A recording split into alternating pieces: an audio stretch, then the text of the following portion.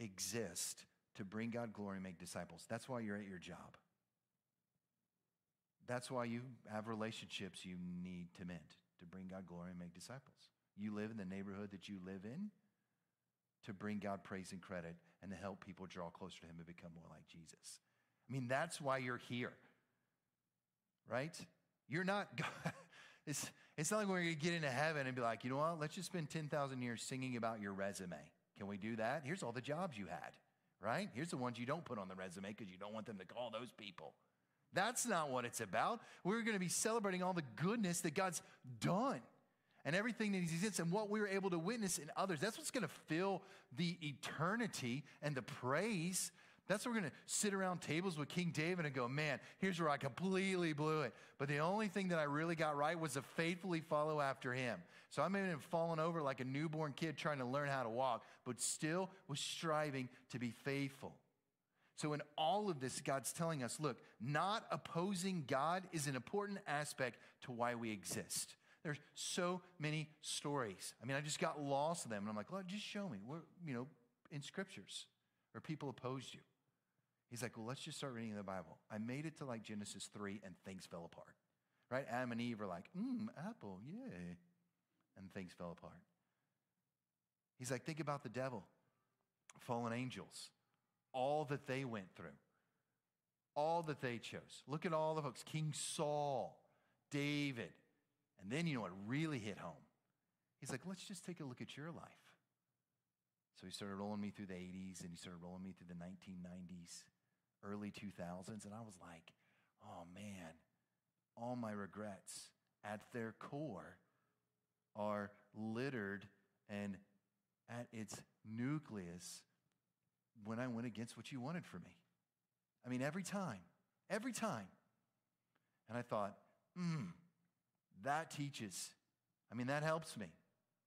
So I look back at my own stuff and don't be like that guy, Nathan. Don't be like how you were. Learn from that and learn from all the others through church history. To take that example to not oppose God. So I want to talk about this because based on this message, what can we do to be like Jesus, the only man to ever walk the planet to never oppose God was the fully God, fully man, Jesus Christ. He's the one that ever did it right. Right? He gets baptized, voice from heaven, dove comes down. This is my son, which I'm well pleased, which shows up at other times as well.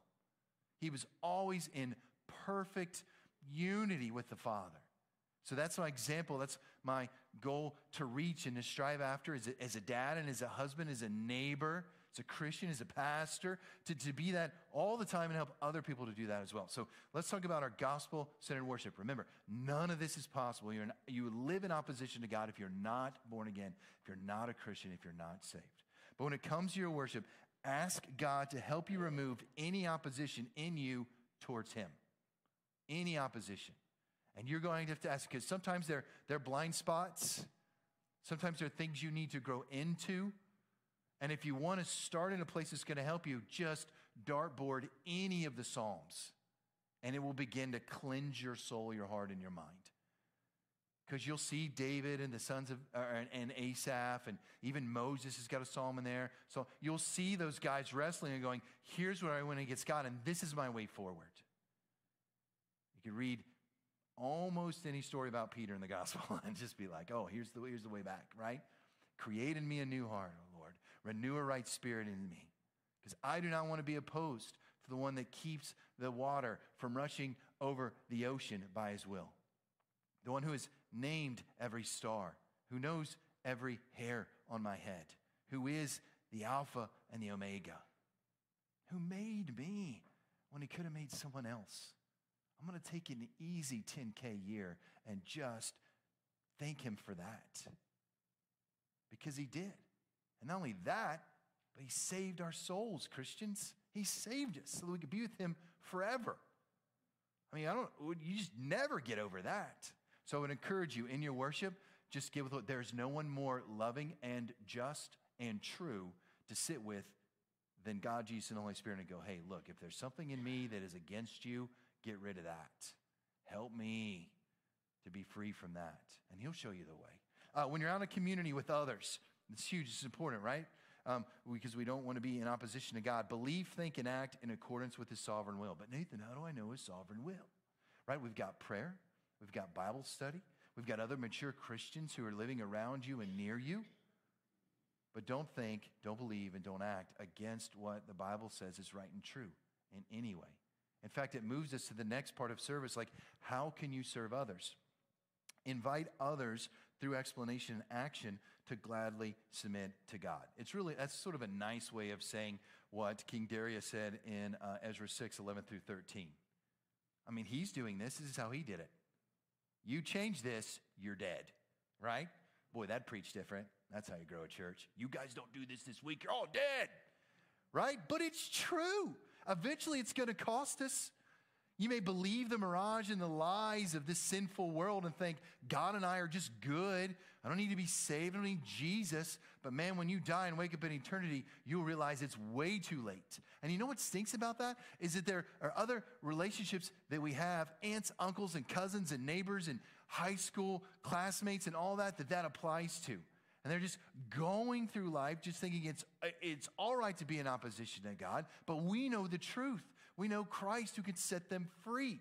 So we explain and help them to know and understand. Why is this good thing happening? We talked about it earlier. James 1:17, because God made it so. Why are things like this something that we, we struggle with and is going through? We got to be in a right relationship with what God is. So we teach and explain and help others gladly submit to God. To be able to say the reason that I do what I do when I do it is because I'm striving to be like Christ and help them understand.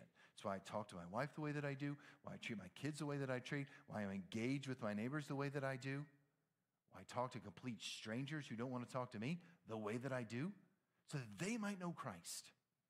And then we come to the part of multiplication, which we pull out of this, right? Like, how do we multiply this truth into others, which is what God absolutely wants us to do. Because you can't make disciples without first taking someone who's saved and sharing with them um, the truth of God's word.